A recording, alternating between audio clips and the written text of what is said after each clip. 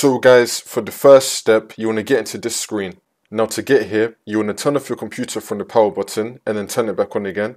As soon as it turns on, you want to turn it off again and then turn it back on again. You want to repeat this three times. So, you want to turn off your computer from the power button and then turn it back on again. As soon as it turns on, you want to turn it off again and then turn it back on again. You want to repeat this three times and then on the fourth time, when you turn your computer on again, it will then take you into this screen.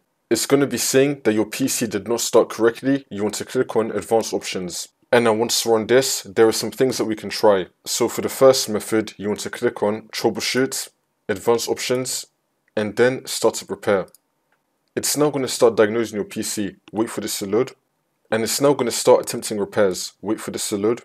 It's now going to boot you back into Windows, see if that fixes your problem. If that's still not working, then you want to come back into this screen like I show you how to do at the start of the video. And now once we're on this, you want to click on troubleshoot, advanced options, and now system restore.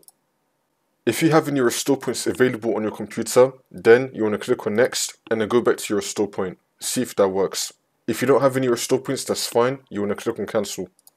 For the next method, you want to click on troubleshoot, advanced options, and this time uninstall updates. You want to uninstall the latest quality update and then click on uninstall quality update.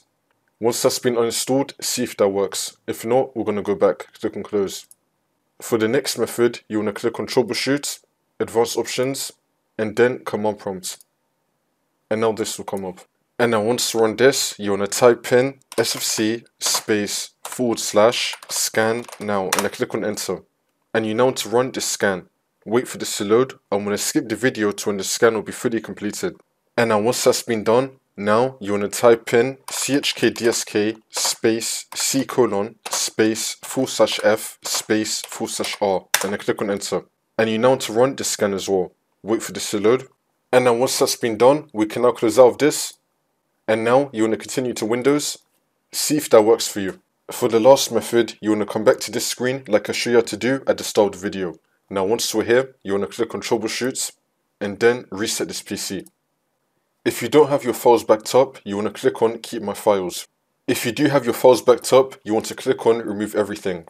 Now you want to reset your PC and this should now fix your problem.